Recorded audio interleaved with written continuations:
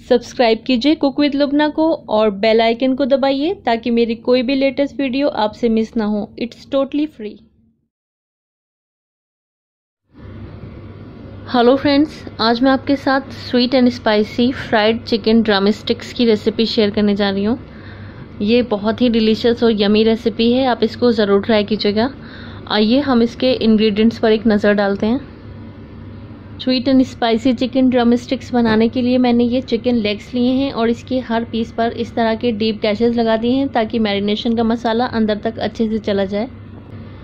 एक table spoon अदरक और एक टेबल स्पून लहसुन का पेस्ट लिया है। दो टेबल स्पून नींबू का रस लिया है। आप इसकी जगह सिरके का भी इस्तेमाल कर सकते हैं। One and half teaspoon नमक लिया है। वन टीस्पून लाल मिर्च का पाउडर लिया है। आप अपने टेस्ट के हिसाब से भी ले सकते हैं और ज़रूरत के हिसाब से हम कॉर्नफ्लोर लेंगे इसको कोट करने के लिए। और इसको डीप फ्राई करने के लिए हम ऑयल लेंगे।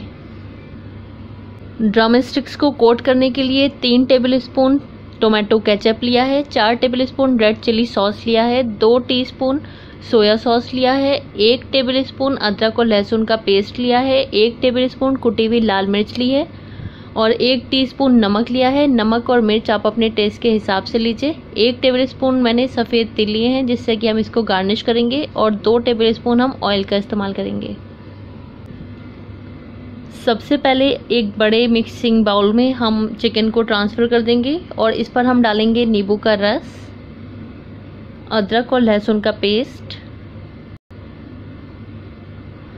साथ में डालेंगे नमक। नमक आप अपने टेस्ट के हिसाब से भी ले सकते हैं और पिसी हुई लाल मिर्च पाउडर और इन सभी को हम हाथों की मदद से बहुत अच्छे से मिक्स कर लेंगे। अब इस मिक्सचर को हम कम से कम दो घंटे के लिए मैरिनेशन के लिए रख देंगे। अगर आपके पास टाइम की शॉर्टेज है तो आप कम से कम आधा घंटा रखें। हमने अपने चिकन को दो घंटे के लिए मैरिनेट कर लिया है। और अब हम चिकन के पीसेस की कोटिंग कर लेंगे कॉर्नफ्लोर के अंदर। इसको इस तरह से घुमाते हुए हम इसको कोट कर लेंगे। इसकी ज़्यादा मोटी कोटिंग नहीं करेंगे। एक्स्ट्रा कॉर्नफ्लोर हम इस तरह से झाड़ देंगे। ये देखिए, इस तरह से।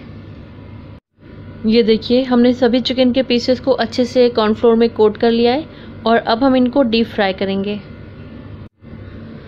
हाई हीट पर हम ऑयल को गर्म कर लेंगे और फिर गैस की फ्लेम को मीडियम कर लेंगे और इसका टेम्परेचर भी हम मीडियम कर लेंगे ऑयल का। और इसमें एक एक करके चिकन के पीसेस को हम ऐड करते जाएँगे। हमें इसको बहुत ही स्लोली कुक करना है, क्योंकि हमें इसे अंदर तक कुक करना है। डेढ़ से दो मिनट के बाद हम इसको पलटना शुरू करेंगे। इससे पहले हम इसको नहीं पलटेंगे, वरना कॉर्नफ्लोर की कोटिंग उतर सकती है।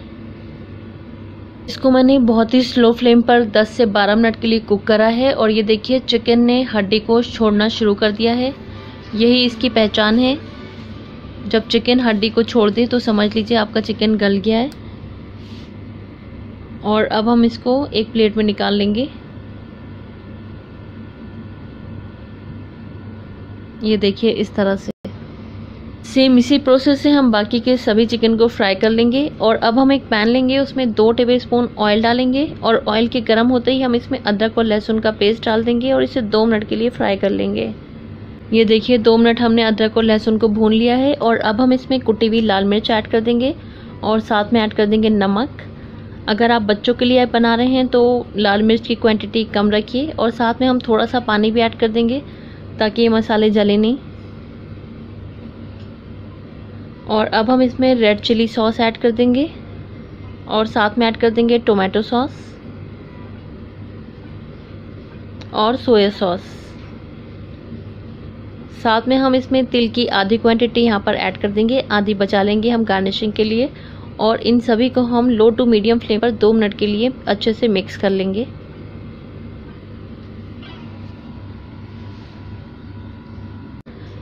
हमारे सभी सॉस बहुत अच्छे से आपस में मिक्स हो गए हैं और अब हम इसमें एक एक करके चिकन लेग्स के पीसेस ऐड करते जाएँगे। और इन सभी को हम अच्छे से मिक्स करेंगे ताकि सभी सॉस अच्छे से इसमें कोट हो जाए। हम इन्हें हल्के हल्के हाथों से मिलाएँगे ताकि हमारे चिकन के पीसेस टूटे नहीं और सॉस बहुत अच्छे से चिकन के हर पीस पर कोट हो जाए। ये देखिए कितना यमी लग रहा है। हम दो मिनट के लिए हाई फ्लेम पर इसे अच्छे से मिक्स करेंगे और फिर गैस की फ्लेम बंद कर देंगे और अब हम इसको तिल से गार्निश कर लेंगे। और ये लीजिए हमारी sweet and spicy chicken drumsticks बनकर तैयार हैं। ये देखने में जितनी खूबसूरत लग रही हैं, खाने में ये उतनी ही टेस्टी हैं। आप इसको एक बार ज़रूर ट्राई कीजिए। आई एम श्योर ये आपको ज़रूर पसंद आएगी। और अगर आपको आज की मेरी ये रेसिपी अच्छी लगी है तो प्लीज़ आप मेरे चैनल को सब्सक्राइब करना ना भूलें। वीडियो को फ्रेंड्स और रिलेटिव्स के साथ शेयर ज़रूर करें। और मेरी इस वीडियो को लाइक करें। Thank you so much for watching my video